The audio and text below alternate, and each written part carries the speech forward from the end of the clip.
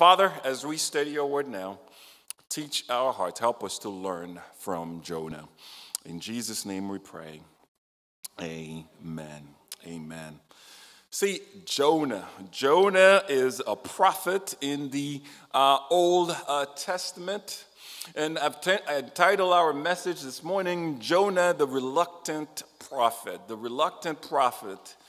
Uh, and, and in this series, what we're going to see, we're going to see God's unfailing love for us.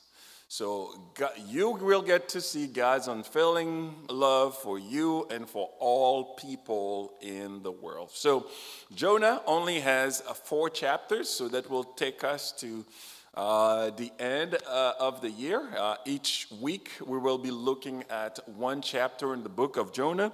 And today we're going to look at uh, chapter 1 of Jonah. So we're going to look at chapter 1 in the book of Jonah.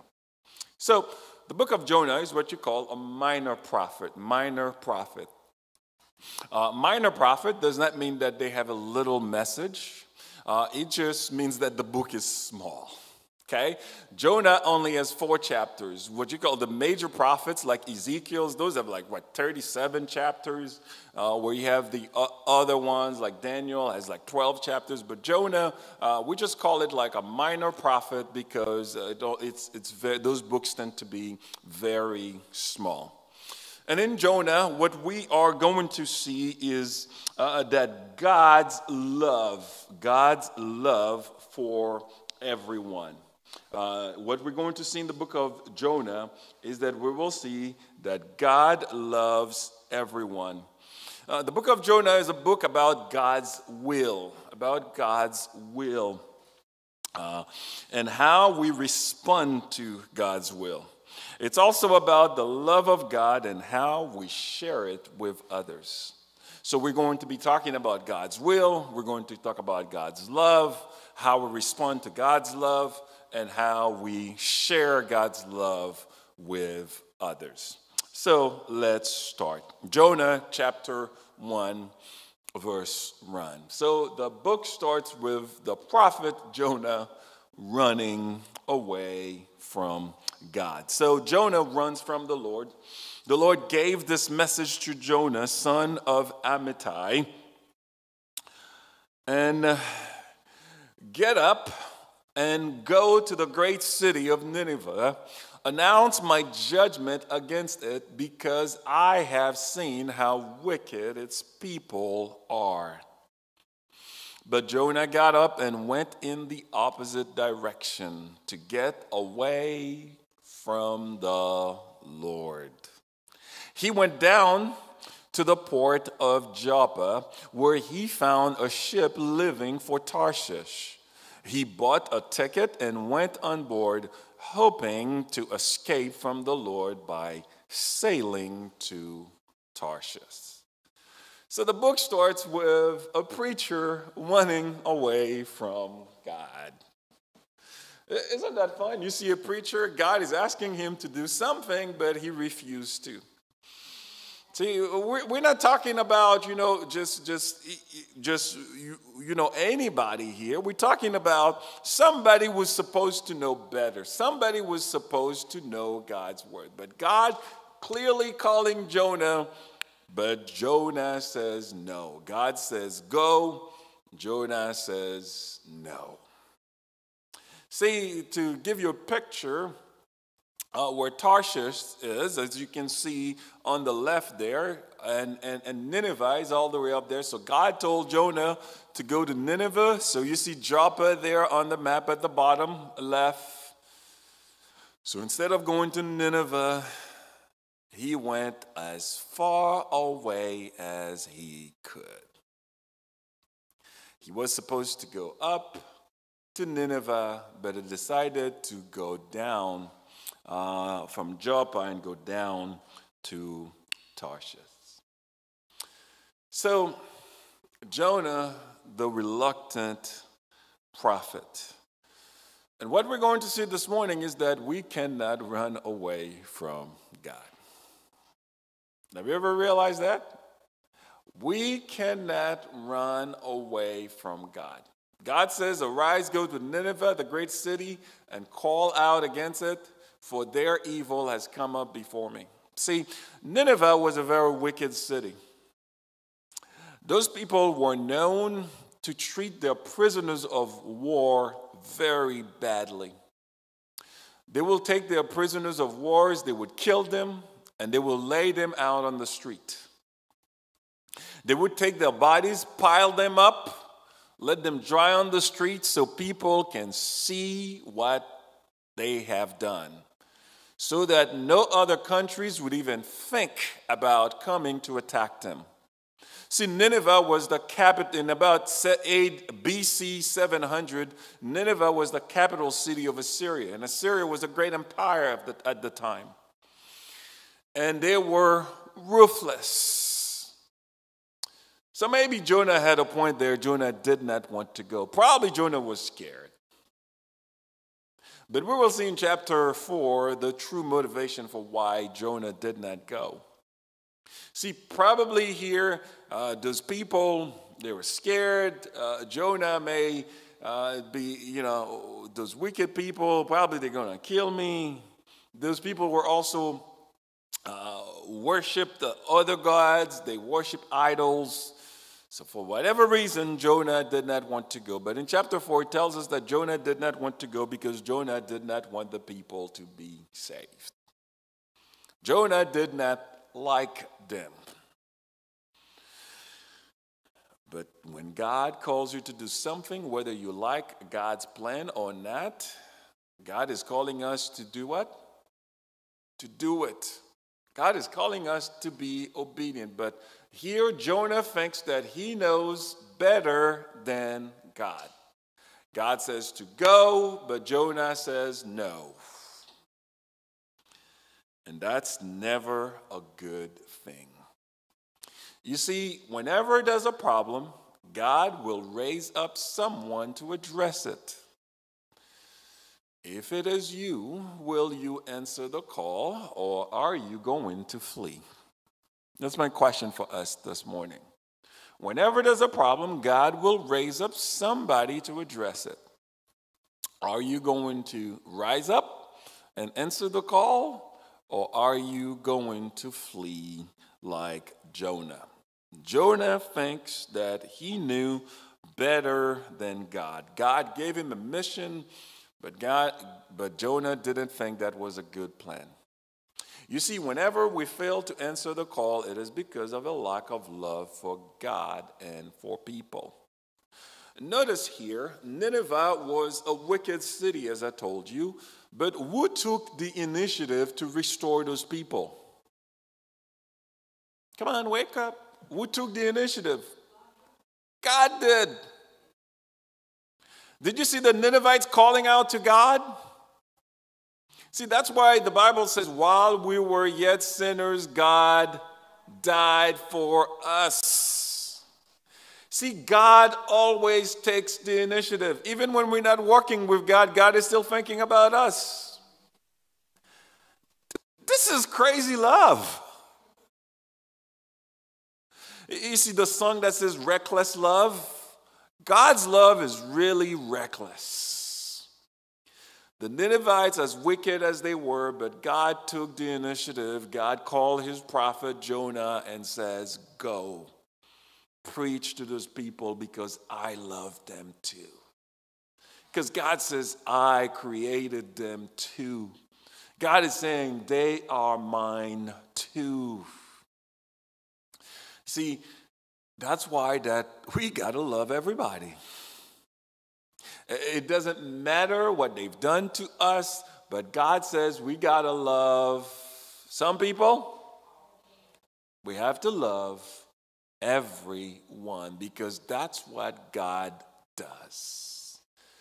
God initiates. Remember, God is the source of love. God initiates love. God goes after those who do not care for Him. Remember, God is the God who goes after the one, leaving the 99 so that God can rescue that last one. You see, God's love we will never fully understand. God loved the Ninevites as much as he loved the Jewish people, as much as he loved Jonah. And in verse 3, but Jonah rose to flee to Tarshish from the presence of God. How foolish. Can we get away from the presence of God? So he went down to Joppa and found a ship going to Tarshish. So he paid the fare and went down into it to go with them to Tarshish away from the presence of the Lord. You see, many times you see away from the presence of the Lord. And here's the crazy thing he had to pay the share too, he had to pay the fare. And he was just going down away from what God calls him to do. See, the lesson is only a fool thinks he can get away from God. Only a fool thinks he can get away from God. Because God is where? Everywhere. God is omniscient, He's omnipresent. God knows everything and he is everywhere. Look at Psalm 139. Read it with me. It says, Where shall I go from your spirit? Or where shall I flee from your.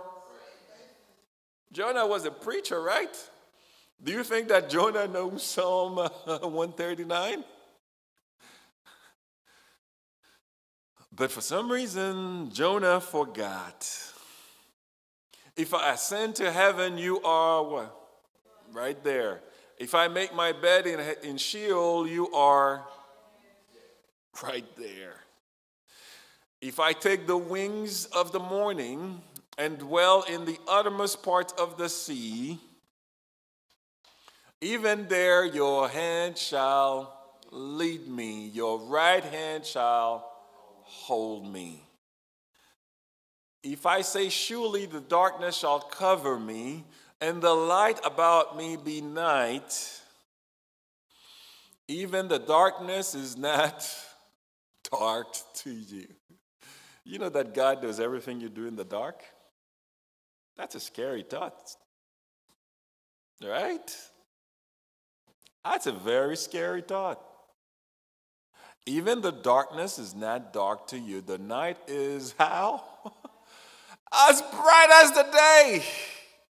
When it's night, it is clearly wide open to God. The night is as bright as the day, for darkness is as light to you. So, you know, like there's no secret with God. See, that's why when you go before God, you can go unashamed and you can be naked and, on, and open to God. You, you, you tell him everything that's in your heart because he already knows it all. There's not one thing that God does not know about you. So when you go to God in prayer, you can be fully and completely honest to Him. And none of us can run from God. Verse 4 But the Lord hurled a great wind upon the sea, and there was a mighty tempest on the sea, so that the ship threatened to break. Remember that God is everywhere and God is all powerful. Not only God is omnipresent, but God is omnipotent. He can do everything. So you're running away. What does God do? Let me bring some bad circumstances in your life. Let me bring a storm in your life. So God hurled a great wind upon the sea, and there was a mighty tempest on the sea, so that the ship threatened to break. See, for some of us, the storms in our lives are because of our sins. We know clearly it's not every storm in our life because remember Job? Did Job do anything? Nothing. But did Jonah do something? Because of Jonah's action, now God sent out a storm. You see, when we think we're running away from God, we're just calling out problems upon ourselves. Anytime we're running away from God, we're just calling for problems upon our life. You see, everyone and everything are at God's disposal. You know that the wind is at God's disposal, the sea is at God's disposal, even that ship was at God's disposal. Everyone and everything are at God's disposal, and that's why it is so foolish to go against Him. You cannot go against God. Remember what, what God said to Paul in the book of Acts? When, when Paul was going around, Saul at the time, before he became Paul, was persecuting all the believers. God says, You cannot kick against the goads. You know what that means? It's like uh, it's like a horse. You know, like with that thing they put on the horse. When the horse tried to fight, you're just pulling that. See, God says you're just hurting yourself anytime you're running away from me. God is saying anytime you're being disobedient, guess what? You are hurting yourself. Just like when the horse is trying to go wrong way, what do you do? Keep pulling that. And that goat keeps hitting them. Then it's gonna, it's kind of like you have to inflict pain in order to make the horse do what it's supposed to be. So God is saying to us, don't be like a horse, be obedient. Be like a horse that is uh, that has been trained, and just do what God tells you to do, so that it doesn't have to pull the that thing to hurt you. So Paul said, God said to Saul, "You can't kick against the goats." Everyone and everything are at God's disposal, and that's why it is so foolish to go against God. In the end, you will lose. Do you know that God always wins? God always wins. Any of you have other ideas? God always wins. Look at verse 5. Then the mariners were afraid. Do you know that your sins affect other people? What did those people do? Jonah brought that problem on the ship, as we will see later. And each cried out to his God, and they hurled the cargo that was in the ship into the sea to lighten uh, it for them. But Jonah had gone down into the inner parts of the ship and had lain down and was fast asleep. So the very storm that was designed for Jonah to get his attention had no effect in his life. The very storm that God sent to get his attention had no effect in his life. While everybody was scared, he created a situation where everybody was trying to do something about it, but Jonah went to sleep. Jonah went to sleep. You see, it's amazing how some of us sleep through the very storms that God had, that has been that have been designed just for us to wake us up so that we would turn from our ways. Have you seen more people turn to God from COVID? Or people just become worse? God created a situation so that we'll, we'll see like only God could do such a thing. That only God has such power. All people, all the nations, with all their powers, nobody can control it. Everything had to shut down, but instead of people running to God now, oh, I'm doing life all by myself. I'm just doing my own thing. See, people get worse.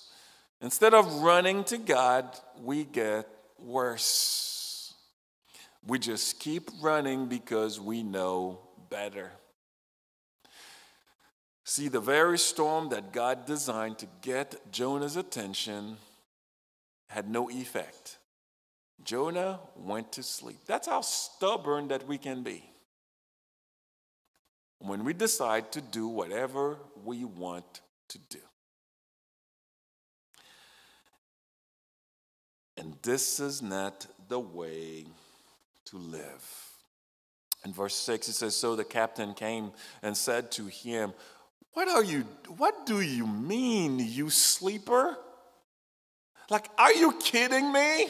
That's what the captain is saying there in, in the JFB version. That's the Jose Fred Brevil's Bible translation. You got it? Okay. Are you kidding me?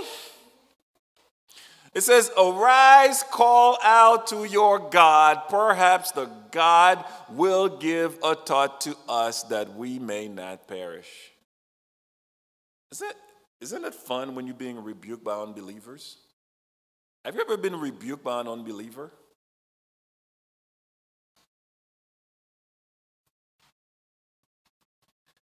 It's shameful. Because unbelievers know how you're supposed to act. Unbelievers know how you're supposed to behave. They may not like your God, they may not come to church, but they know exactly how Christians are supposed to behave. And when we go out, when we go so far out, some of them will rebuke us. It's amazing that the people that God used to rebuke us, just like God used the captain right here to rebuke Jonah. It's like, really, pal? You sleeping? Come on, man. You must be kidding me. See, it's not fun when we're being rebuked by an unbeliever. And you see, desperate situation called for desperate me- measures. The captain and the crew, they were willing to do try anything with no certainty of getting positive results. You see, that's the thing with all other gods. They have no certainty that their God will answer. You see, you see, the captain says, oh, maybe your God will answer. It's kind of like ready to try anything in this situation. And who caused all that commotion? Jonah. But he didn't care one bit. So our choices affect others. We need to be careful our sin affect other, other people. While we don't care, but people are being affected. And in verse 7 it says, And they said to one another, Come, let us cast lots. That was a common practice. That's like throwing dice.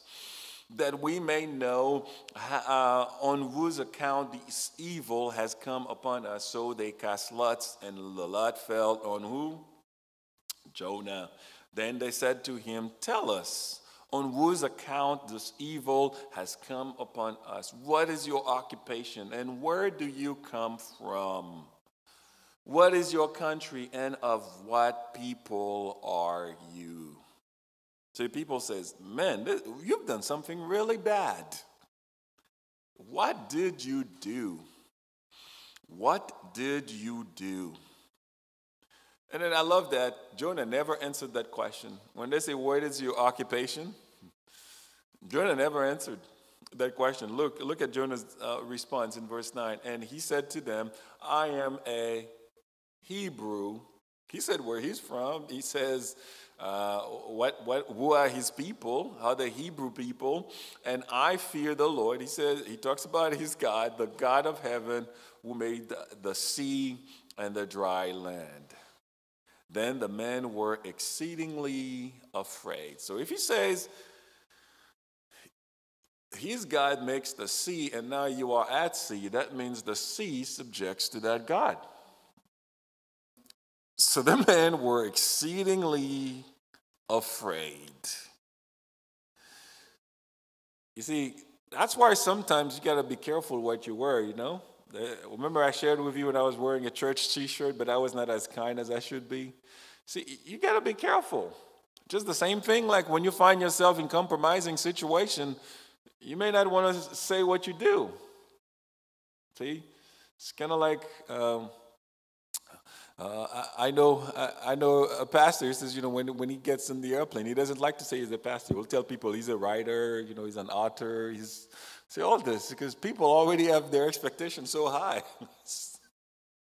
See, Jonah here is messing up, and Jonah could not say what he did. Then the men were exceedingly afraid and said to him, What is it that you have done? For the men knew that he was fleeing from the presence of the Lord because he had told them. You see, we need to be careful running away from God is not a solution. And people who do not know God knows what we're supposed to be doing. You know it's bad and gone too far when even non-believers know that we should do better. See, when you see a non-believer rebuke you, you can be sure that you've gone really far. So we got to be careful.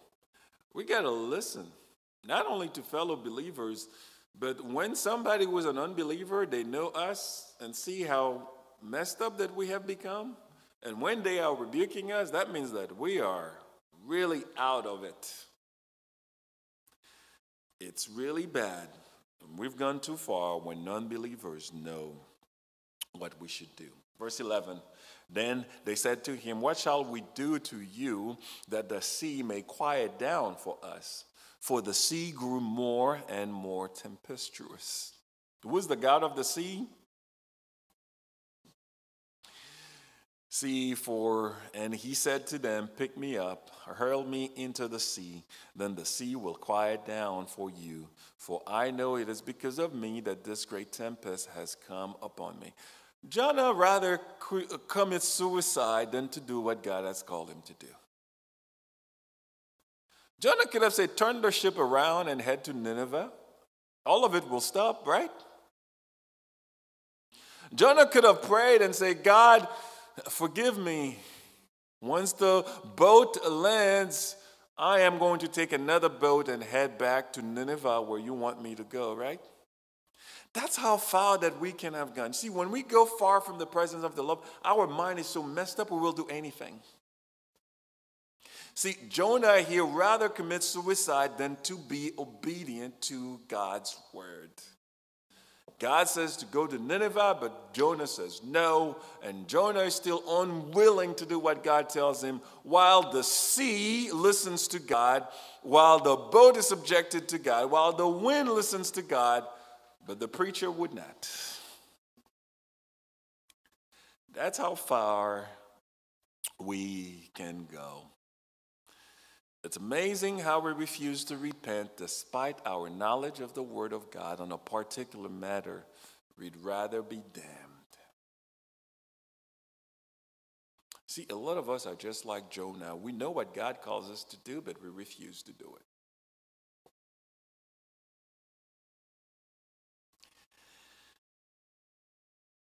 Jonah would rather die than to see the Ninevites get saved. Verse 13 Nevertheless, the men rowed hard to get back to dry land, but they could not, for the sea grew more and more tempestuous against them. What does that tell us? When we're running out of a God, away from God, we can get out of it. If you want to get out of it, you better turn to God. Only God can get you out of the mess you created once you run away from him. See, the men tried hard to save Jonah, but they were unsuccessful. Therefore, they called out to the Lord. Now, you know that we cannot mess up God's plan. Even in our unwillingness, God can still use that to save people. Look at this. Who are they praying to now? Are they still praying to their false gods? You see, oh Lord, in, in, in, in, capital letters. It says, Therefore they called out to the Lord. That's Jonah's God. That's the God of God, the Lord of Lords. O oh Lord, let us not perish for this man's life, and lay not on us innocent blood, for you, O Lord, have done it as done as it pleased you. So now they're getting, they're gaining faith in the true God. You see, when we think we're running away from God, God's agenda remains intact. His agenda is to make disciples wherever we go. While Jonah refused to make disciples in Nineveh, guess what he was doing? Making disciples while he was being disobedient on his way to Tarshish. You want to fight God? Have fun. You're just trying to inflict pain on yourself. But God's plan will remain intact. God's purpose is still going to go as planned. You see, the story we hear in Jonah also is, is when we see when unbelievers are more righteous than believers. Did you see that? Oh, do I need to read the text to you again? Nevertheless, the men rowed hard to get back to dry land, and they could not, for the sea grew more and more tempestuous. So they were doing whatever it took to save Jonah. Jonah told them what the solution was kill him. But no, they did whatever they could to save Jonah. That's when non believers puts us to shame. When they are acting more righteous than we do. And that's what we see here in this story, and this continue to happen today when you will meet somebody who is not a believer, but they're acting better than Christians. When unbelievers are more righteous than believers, see, they did not want him to die. They did not want to be murderers. They did not want to have his blood upon themselves. See, when God's judgment is upon us, no one will be able to help us despite their best efforts. Let's ponder on this one. When God's judgment is upon us, no one will be able to help us despite their best efforts. We cannot run away from God. If we're running away from God now for whatever that God is calling us to do, whatever we see clearly in His Word and not doing, the consequences are great. Because when God's judgment comes, no one will be able to help you, even your grandmother. I know you'll think that grandmothers are superheroes, right? But you see, when God's judgment is upon you, no one can help you. Because you have to face God now because you were the one being disobedient. Got it? All right, let's wrap it up. Verse 15 So they picked him up uh, and hurled him to the sea, and the sea ceased from its raging. Jonah knew what he was talking about, right? But there were other ways, but Jonah chose the suicide route because Jonah's heart was hard for the people of Nineveh. He did not want them to be saved. And he just wanted to be disobedient till the end. Just like some people tell you, I will never forgive that person until I'm six foot under. Have you ever heard people say that? Some people will go down to the ground and not forgive. Or they're being directly disobedient to what God I called them to do because God says we need to forgive. So they picked him up, they threw him, and this and it stopped. See, the wind listens to God, the sea listens to God, Every creature listens to God except us. But we refuse to listen to God. Then the man feared the Lord. How? you got to love God. God has a sense of humor, doesn't He? Remember, I told you God's plan will always come to pass? It doesn't matter how you messed up, how, how you just messed it up. God's plan will always come to pass. His plan is to save as many as possible. His plan is for us to make disciples. His plan is to save that which was lost. Jonah didn't go save those people in Nineveh. In his disobedience, God used it to save the people on the ship. You gotta love God. Then the men feared the Lord. How? Say it with me. Exceedingly. That's the highest level you can get. and they offered a sacrifice. Oh, they're making sacrifice. Hey, I'm coming to church. They're making sacrifice. I'm giving. They're making sacrifice now because now they're becoming obedient. They offer the sacrifice to the Lord and make vows. So they're making commitments. Hey, God, I'm going to be committed to you. We live in a world now where none of us wants to make any kind of commitment. They just received God, right? How long is that? Were they Christians for 50 years? Were they Christians all their lives? They started making commitment to God the moment they received Christ. See, they feared God exceedingly. That means they, they really took God seriously. And the problem we have today, a lot of us don't take God seriously. God says, do this, but we're going to go the way of Jonah. We're going to do our own thing. But they feared God exceedingly. That means they took God seriously. They offered sacrifice. That means they started doing the things that they needed to do. They were loving God sacrificially, just like God loved them sacrificially. And they were making vows, they were making commitment to God.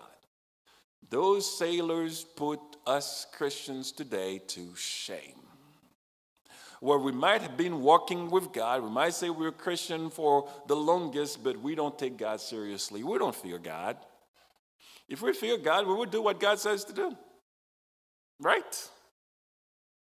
Uh, if we fear God, we will, we will sacrificially do the things that God tells us to do, whether we like it or not. Wouldn't we? And we would make commitment to God about the things that God asks us to do. We want to do what God tells us to do. And in verse 17 ends there, it says, And the Lord appointed a great fish to swallow up Jonah. And Jonah was in the belly of the fish three days and three nights. I wonder how it feels to be in the, uh, inside a fish. Mm.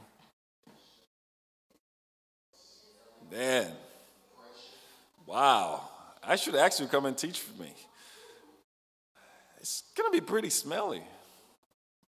God appointed a great fish. Remember, fish, you know, somehow it doesn't matter how they clean it, there's always a little smell to it. Am I grossing you out yet? That yuck stuff. All right, let's move on. Okay.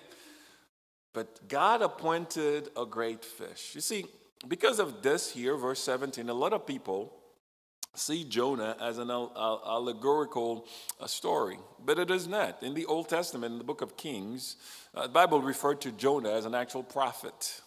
And Jesus referred to Jonah as an actual prophet, didn't he? It says, just like Jonah was in the belly of the fish for three days and three nights, even so the men of men will. Remember that? See, so this is no allegorical story. This is a real story, real events that actually happened. Now, simple. What does Genesis 1 1 says? In the beginning, God created the heavens and the earth. Do you believe this? Yes. So, if God created the heavens and the earth, and He created all the animals, He created us, created everything, can God create a big fish that can swallow people?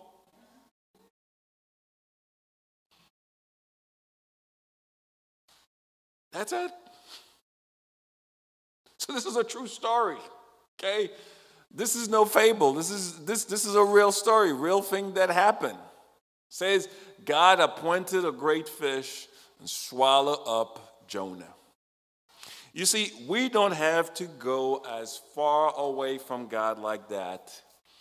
So that God, God has to appoint a fish to take us, giving us like an unpleasant experience but God can do. See, verse 15 the problem that was causing their trouble was spiritual in nature, and the same is true for some of our problems. For some problems, we need a spiritual solutions. See, that's why the Bible says examine yourself to see whether you are in the faith. Okay? So that means when you get your trouble, not all your troubles now, okay? Remember, remember Job. Not all your troubles are consequences of sin. But many of your troubles are a consequence of sin. They are spiritual issues. And you need to take a good look to really think, examine yourself. You see, even, was it Socrates or Plato that says the unexamined life is not worth living? Uh, Corinthians, uh, First Corinthians asks us to do the same thing also. We need to examine ourselves and see whether we are in the faith or not. See, we need to examine ourselves and look at the problems in our lives. Is it because of sin? Okay? Is it because of something that we are doing that is causing that issue into our life? Especially if we see the problems keep repeating, it keeps recycled over and over. That means God is trying to teach us something that we've never learned. This is how God's work. When things goes in cycle, it's like the same thing keeps happening and happening and happening and happening and happening and happening. We never break free from it. This is a spiritual stronghold. That's what the Bible calls spiritual stronghold. So pay attention. If it's the same thing over and over, it might be a spiritual issue. And when you have a spiritual issue, it calls for prayer and fasting. And then a call for you to become obedient to what God calls you to do. But again, remember, are all problems a result of sin? No. Anytime that comes to your mind, remember Job, okay? But a lot of our problems are because just we act like Jonah, okay? Because we don't do what God calls us to do. See, God is still sovereign despite our disobedience. He will accomplish his purpose with or without us. God accomplishes purpose still. Okay? He will do it with or without us. So when you keep running, God will make it very unpleasant for you. That's the last lesson from the text. Uh, but I have some. uh, uh, when you keep running, God will make it very unpleasant for you. Okay, some more lessons, four more lessons from Jonah, and then we'll call it off today. Number one, don't run away from commitment. No, don't run away from commitment. Don't run away from commitment. You need to learn to make commitment and keep your commitments. Don't run away from commitment. Just like Sunday morning, you know that's your time to come to church. Make commitment and keep that commitment. When you make a commitment to meet, uh, to help somebody, make that commitment. A lot of us, when somebody, oh, you don't want to make any commitment, I'm not sure, let me get back to you. Okay, no. If somebody needs help, you can meet that needs, make a commitment to help, and keep that commitment. Okay, you with me? We need to learn to make commitment and keep those commitments. Okay? So don't run away from commitment. Okay? The culture teaches us to do exactly the opposite. The culture is telling us don't make any commitment. Okay? But God is telling us we should not run away from commitment. We have to make commitment. John Maxwell puts it this way Spot someone who runs from commitment, and you will find a person who lacks character. Spot someone who runs from commitment, and you will find person who lacks character. Uh, Rick Warren says the same thing. Making and keeping commitments builds my character. Making and keeping commitments build your character. Because what happens now? Once you make that commitment, you got to be honest, right? And you got to keep that commitment. But when you never make the commitment, it never gives you any opportunity to be honest. You with me? Okay, we have to make commitments and keep commitments. Okay, just like if we need help with something, you need to volunteer. You just say, "Ah, oh, let me find out if I don't have anything." No, no, you need to make commitment and you need to keep commitments. It helps to build your character. It helps to build your character. Number two, there are consequences for avoiding commitments. There are consequences for avoiding commitments. There are consequences for us for avoiding commitments. It was clear from Jonah. Jonah refused to make a commitment to God and do what God told him to do, and God made it very unpleasant for him. See, running from God will cost you. See, remember Jonah paid the fare going to Tarshish? So it's kind of like he's paying the fare to go suffer. Okay? He paid the fare and still he didn't get where he wanted to go. Did he? See, that's the price a lot of us are paying. Okay, we, we, we, we're running away from God, we're running away from commitments, and then we're trying to do our own things, and then it had great effects on our life, where it makes us waste more time than we actually had. Did Jonah waste more time? He wasted way more time instead of just taking that ship and go straight to Nineveh. But Jonah uh, running from God cost him time. Did it cost him his uh, uh some money? He paid the fare. Okay, a lot of us are running away from God. We're spending money and then we're just wasting our money. We're wasting our time. Do you think it affected his health? He was not in a good place. Okay, now you being thrown into the sea, I'm sure he drank some water before the before he got swallowed up. Right? That wasn't the sea, that water was what? salty. So, running away from God affects your time, it affects your money, it affects your health, it affects your peace. You think Jonah was at peace? And it takes away your joy. Are you with me? See, we need to learn to make commitment and keep commitment. And when we don't make commitments and keep those commitments, we are paying the price. There is a cost for not following what God tells us to do. And then here's the thing also when we fail to make commitments to God, everything just goes down and down and down and down and down. See, it only goes down when you live a disobedient life. In verse 3, it says he went down to Joppa instead of going up to Nineveh. Okay, then it says he went down to the ship. And then Jonah gone down to the inner part of the ship and had lain down there. See, it just goes all the way down there. The text doesn't say that, but I just thought it was interesting that everything went down. Okay?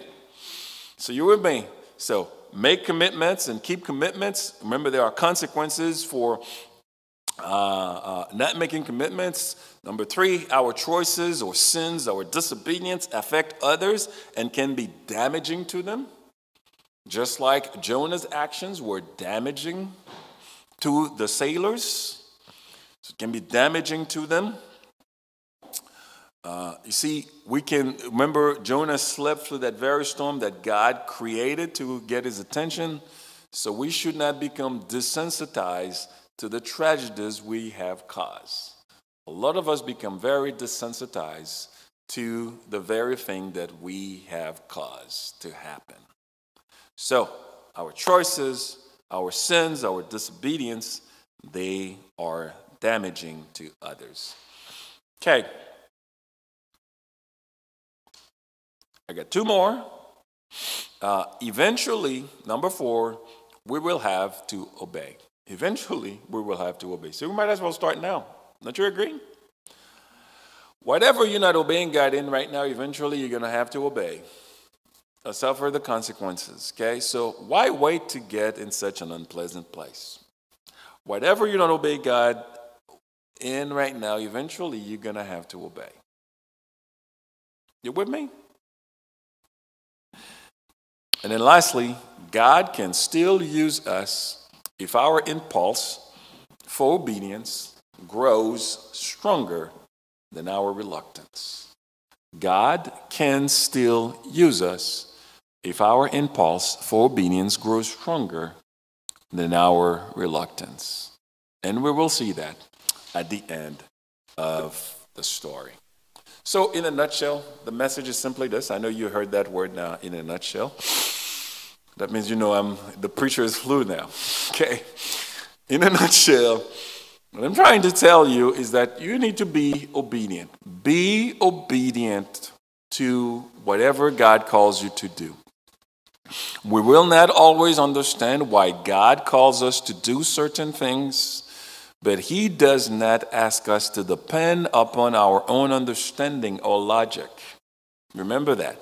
He does not ask us to uh, depend on our own understanding or logic. Rather, he calls us to walk in obedience to what?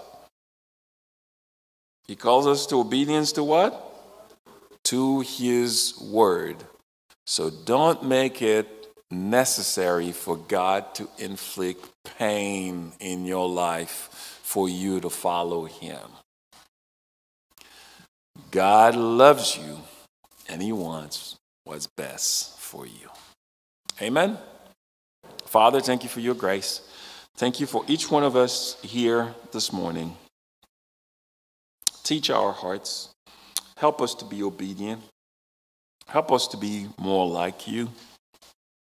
Help us to walk according to your ways, not according to ours. Help us to learn from Jonah to be obedient today. Help us to be reminded we cannot run from you. We cannot run away from you. You are totally in control of all that we face. So, Father, help us to know and to trust you and live according to your ways, not ours.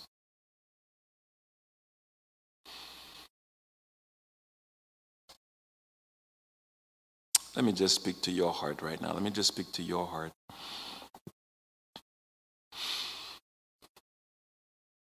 As you still have your eyes closed, your head bows, it's, I just want to speak to your heart. You see, most of us are more like Jonah than we think.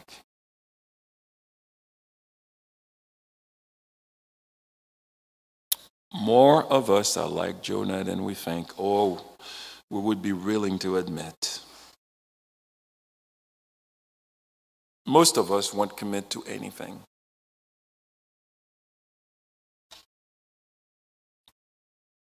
I have some questions for you this morning. God says to seek Him first. How many of you are actually doing that right now? How many of you are seeking Him first?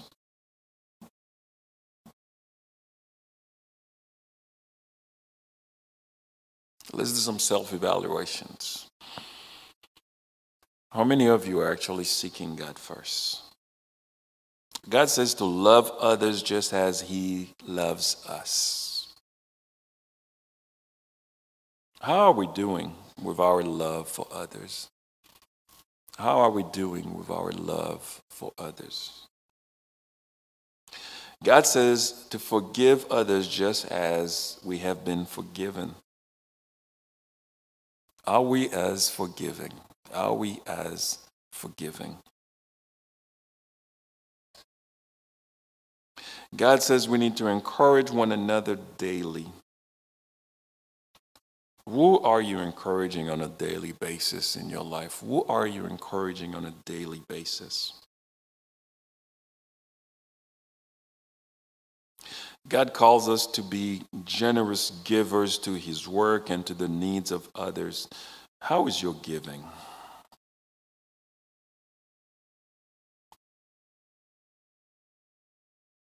God calls us to live at peace with everyone. Who are you keeping at bay? Who are you keeping at bay? God says to trust Him with all our hearts. How are you doing with trusting God in every aspect of your life? How are you doing in trusting God in every aspect of your life? God says to share the gospel with unbelievers on a regular basis as we go. When was the last time you shared the gospel with someone? When was the last time you shared the gospel with anyone? God says to welcome one another and to outdo one another. When was the last time you invited someone to come along with you for worship? When was the last time you asked somebody to come along with you to worship? God says He wants His house to be full. Lastly, God says to be joyful always. Are you living as such? Are you living with joy always? The Bible says to pray without ceasing. How's your praying? How's your praying? Oh, Father, may we do all that you have called us to do. May we all live at peace with everyone. May we all be loving. May we all live with joy. May we all be generous. May we all love like you love. May we all be encouraging. May we all live in harmony and unity with one another. May we all pray for one another. And Father, help us to be obedient and trust you with all our heart. For you say, trust in the Lord with all our hearts. Lean that on, your, on our own understanding in all our ways to acknowledge you, and you will direct our, self, our steps.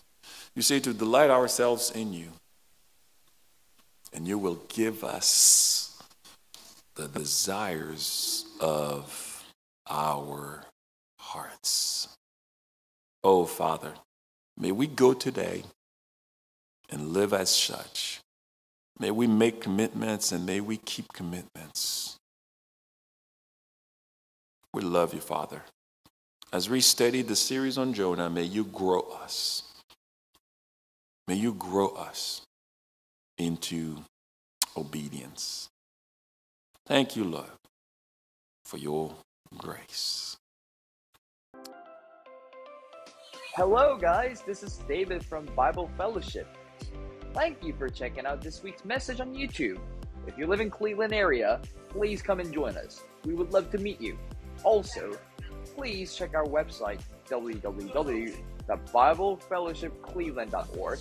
There, you can send us a message, share a prayer request, subscribe to our weekly update.